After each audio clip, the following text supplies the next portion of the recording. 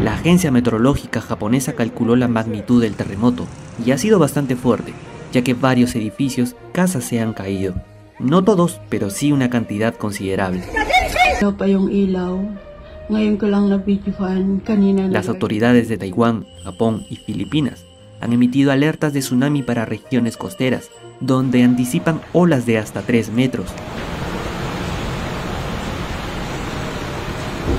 El terremoto ocurrió cerca de las 8 horas de la mañana y ha tenido una profundidad de 35 kilómetros. Los países vecinos se remecieron, entre ellos Japón y Filipinas.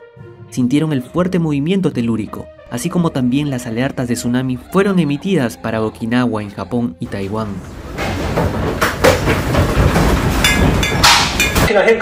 Nada más minutos después de este fuerte terremoto, ocurrió una réplica de 6.5 a 11 kilómetros de Hualien.